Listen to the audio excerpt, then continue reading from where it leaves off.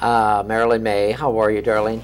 I'm Just fine. saw you with Skippy. Mimi Hines and uh, who else was? and Karen Morrow. Carolyn. It was Karen a great Morrow. show at the Thank you. Ford Amphitheater. Amphitheater. Yes, we did Reprise. It was a, a fundraiser for an organization called Reprise Right. that Peter Matz originated. Uh-huh. And Peter Matz was a wonderful arranger of mine, so it was a joy to be there.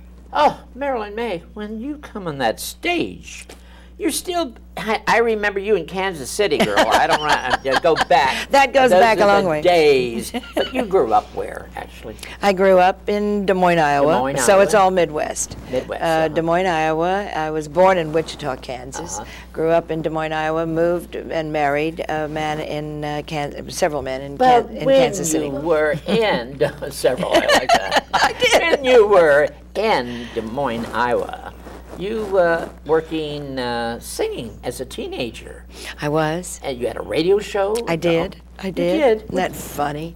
I can't imagine some 15-year-old girl with her own radio show. Oh, yeah, there are a lot of 'em. There, there are now, aren't there? Jane Yeah. Powell had Yeah, one before yeah. she from in Portland, Oregon. Isn't that great? Before she came to Hollywood. Yeah. Well, it was great education. You It know. certainly was. And I want to tell you something. Something happened.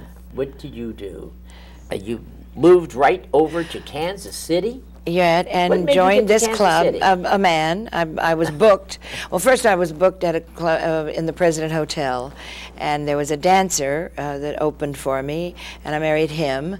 And then later on, I found a great pianist, and so I married him, and we worked a place called The Colony. yeah. Ah.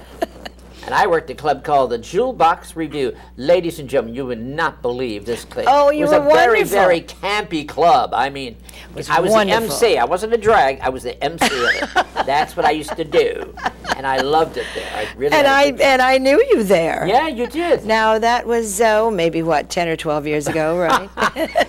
Marilyn Maye, you and I are about the same same age. But anyway, I had a great time. So you and isn't it nice? We're still moving and working, and it's wonderful and Yeah, energetic. Steve Allen had a lot to do so- with you now. yeah, so he good came to in me. that room, saw Marilyn Maye. Mm-hmm, What happened? He, he booked me on his national. He had a prime time show in those days.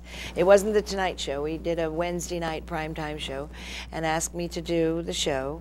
And um, I went out, and then and then he wound up with a show across from Farmers Market at that studio, a late night show, and I Right. did that many times.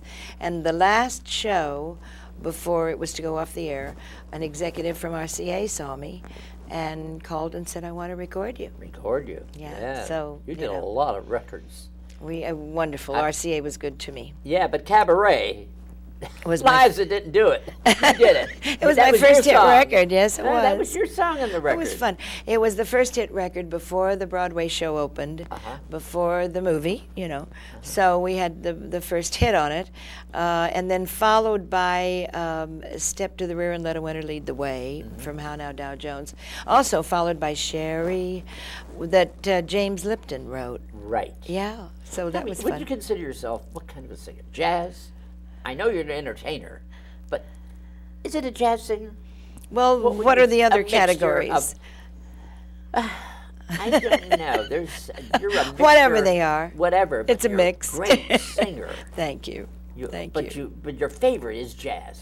Well, I think everything that I do is jazz spiced. You know, it's um, I grew up in the Middle West, and I grew up in Kansas City, and Kansas City is, is a big mecca of jazz. Great singers from Kansas City. Right. So I, remember. think most of you know everything that I do, I don't stick real close to the melody, but I'm not a far out jazz No, singer no, either. no. Like know. Anita O'Day and all that. Well, know, I, know loved you- Anita, and, Oh, and I don't and- mean that. I meant no, you know. right, right, exactly, Yeah. and and I love Ella and, and all those singers. I also love communicating with the audience and and Boy, singing to did. them, not for them. So Did you ever at Yeah. that Ford Theater? thank you. Wow, that's a big stage. It was. You were right there. Oh, I loved it. Yeah, thank you. And I was right in the middle of the room. I was sitting next to someone, and I just, I've never seen you perform. That's the first time I've seen you perform in years.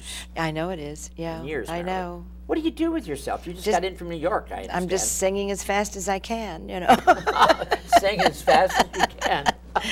Uh, I'm working all the time now, Skippy. It's funny. Um, we were, we opened in a new room in New York last October, Uh-huh. and we were there. Uh, well, first of all, we did a, a show at Lincoln Center at, in Rose Theater for one night, and then we went over to this wonderful theater called the Metropolitan Room, which is on Chelsea.